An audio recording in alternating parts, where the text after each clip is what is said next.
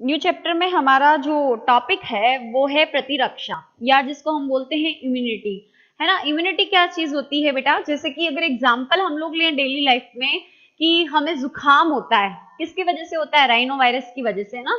तो जुकाम होता है फ्लू हो जाता है तो हम लोग आ, मतलब अगर दवाई नहीं भी लेते तो भी ऑटोमेटिकली आफ्टर थ्री डेज़ क्या होता है? एकदम अपने आप ठीक हो जाता है। तो उसका रीजन क्या होता है कि हमारे शरीर के अंदर कैपेबिलिटी होती है उस राइनो वायरस को मारने की। मतलब हमारे शरीर के अंदर खुद में कैपेबिलिटी होती है कि वो क्या कर सके, क्षमता होती है कि वो किसी भी रोग से लड़ सके और उस रोग का जो कारक है उसको क्या कर सके, नष्ट कर सके। तो प्रतिरक्षा यही है है ना? कि शरीर के, यानी समस्त सजीव, चाहे ये जंतुओं में ले लो चाहे अगर मनुष्यों में ले ले तो जो समस्त सजीव होते हैं, उनके अंदर क्षमता पाई जाती है रोगाणुओं को। यानी जिनकी वजह से हमें रोग होते हैं। उन्हें क्या कहेंगे हम? रोगाणु। तो रोगाणुओं को नष्ट करने की।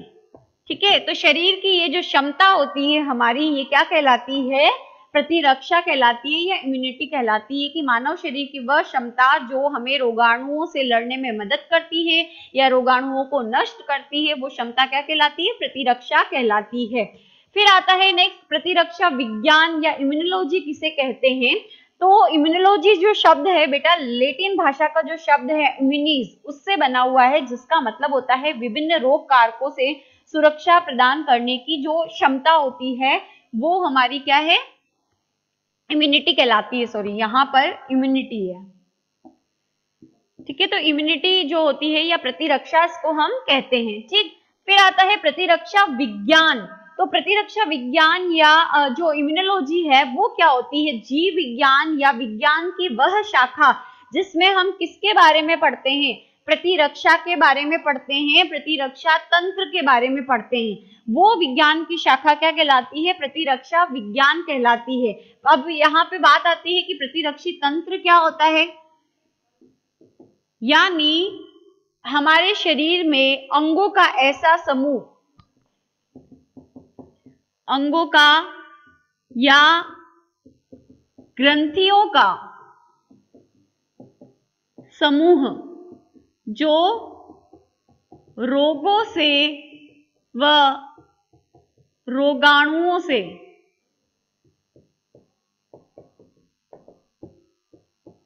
लड़ने की क्षमता प्रदान करता है।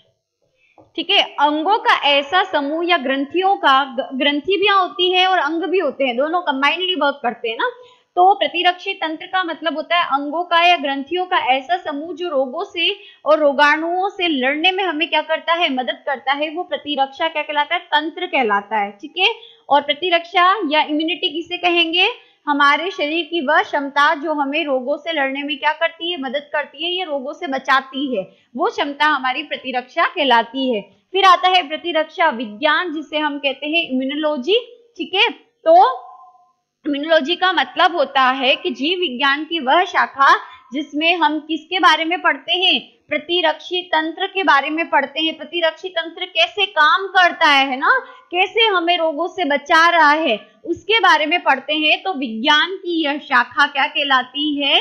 प्रतिरक्षी विज्ञान या इम्यूनोलॉजी कहलाती है। क्वेश्चन है कि जो इम्यूनोलॉजी के फादर है, प्रतिरक्षी विज्ञान के जो फादर है, वो कौन है? तो answer is Emil von Behring नामक जो व्यक्ति हैं, वो प्रतिरक्षी विज्ञान के क्या कहलाते हैं? जनक कहलाते हैं या फादर कहलाते हैं, ठीक है? तो ये आपके तीन डेफिनेशन हैं, ये तीनों की तीनों आपको क्या की जा सकती है? पूछी जा सकती है प्रतिरक्षा की, प्रतिरक्षी तंत्र की और प्रतिरक्षा विज्ञान की।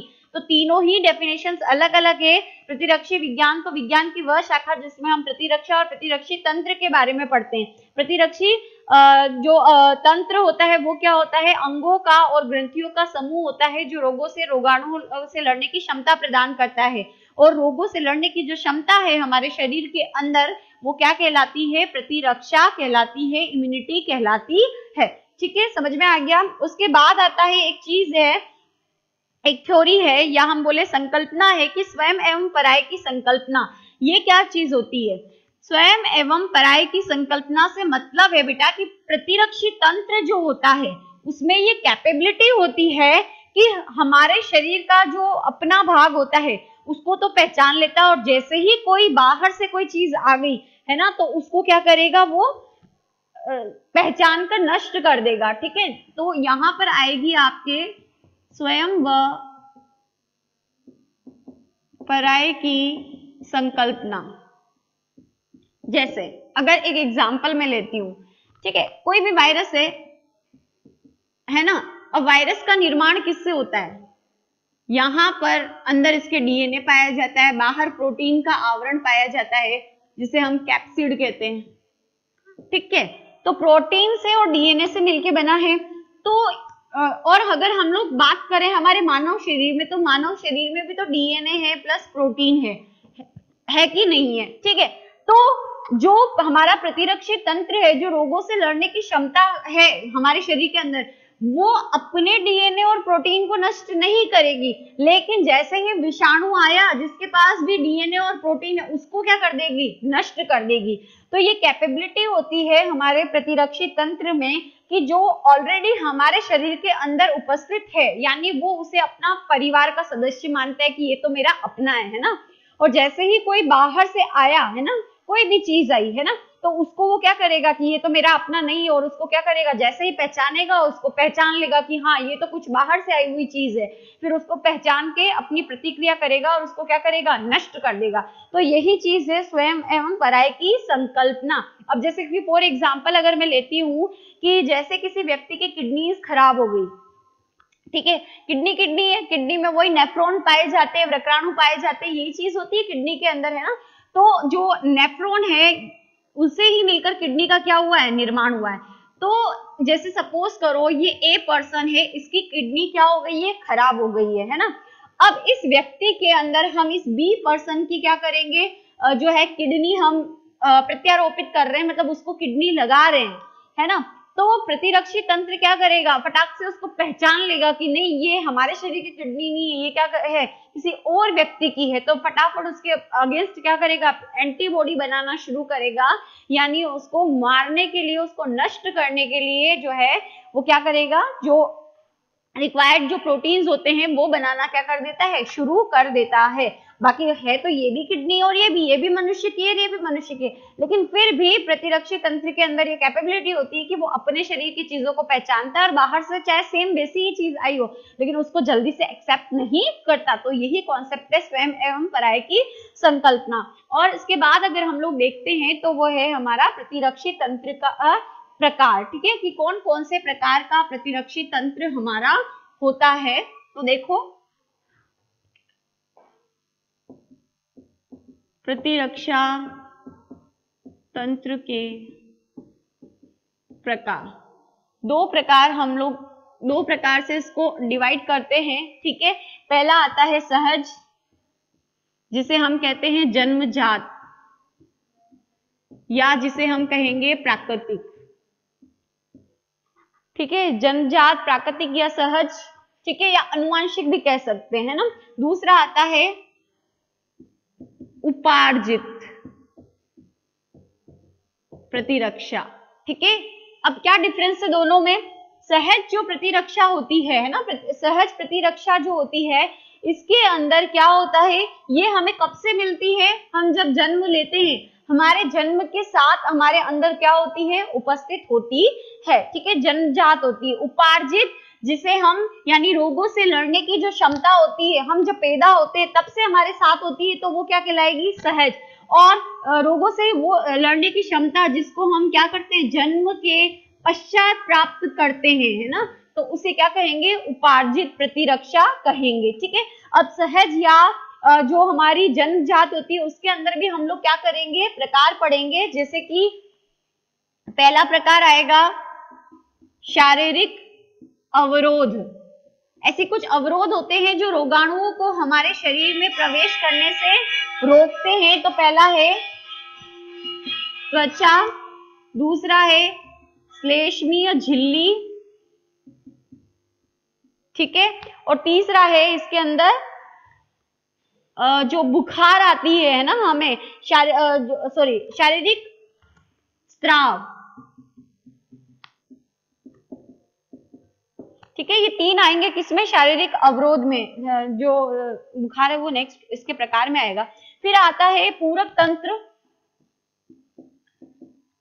तीसरी जो कैटेगरी होती है, वो आती है आपके भक्षाणविक अवरोध और प्रदाह अवरोध।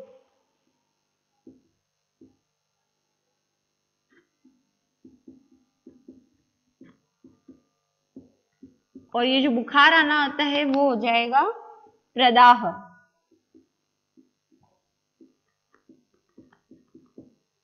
ठीक है? तो ये पहला प्रकार ये जो है सहज प्रति यानी जनजात जो प्रतिरक्षा होती है उसके अंदर हम लोग पढ़ेंगे। शारीरिक अवरोध शारीरिक अवरोध में हमें तीन चीज़ें पढ़नी है त्वचा श्लेष्मी झिल्ली शारीरिक स्त्राव। फिर पूरक तंत्र पढ़ेंगे फिर हम भक्षाणविक जो आ, होता है भक्षाणविक अवरोध और फिर आ, आएगा आपके प्रदाह अवरोध है ना? फिर उसके बाद उपार्जित प्रतिरक्षा है उपार्जित प्रतिरक्षा जो है वो दो तरीके की है। पहला है सक्रिय और दूसरा है निष्क्रिय। सक्रिय में दो आएँगे, निष्क्रिय में भी क्या आएँगे? दो आएँगे। सक्रिय में जो दो प्रकार है, वो कौन से है? प्राकृतिक हो जाएगा और दूसरा होगा कृत्रिम। प्राकृतिक और कृत्रिम। और इधर भी प्राकृतिक और कृत्रिम। ठीक है? तो ये जो चीज़ें हैं, हमें अभी इस टॉपिक में क्या करनी कवर करनी है। ठीक है? तो प्रतिरक्षा जो है, या हम बोले तंत्र नहीं बोलो तो भी कहीं बार ये लिखा रहेगा कि प्रतिरक्षा के प्रकार बताइए। तो प्रतिरक्षा के दो प्रकार होते हैं, सहज और उपार्जित प्रतिरक्षा। सहज जो हमें जन्म से हमारे अंदर होती है, रोगों से लड़ने की क्षमता, जिसमें हमको क्या पढ़ना है? शारीरिक अवरोध के बारे में पढ़ना है, त्वचा श्लेष्मीय शारीरिक स्त्राव, फिर पूरक, फिर बक्षाणविक अवरोध, फिर प्रदाह। ये द है, ध्यान रखना। ये प्रदाह यानी जो बुखार हमें आता है, सूजन जो होती है वो फिर उसके बाद आता है उपार्जित प्रतिरक्षा। जो जन्म के पश्चात हम प्राप्त करते हैं रोगों से लड़ने। इसके दो प्रकार होते हैं, सक्रिय और निष्क्रिय। सक्रिय फिर से दो प्रकार हैं, प्राकृतिक और कृत्रिम, और निष्क्रिय के दो प्रकार है, प्राकृतिक और कृत्रिम, ठीक है? तो अभी हम लोग पहले जो प्रकार पढ़ेंगे, वो पढ़ेंगे सहज या जनजात या प्राकृतिक प्रतिरक्षा।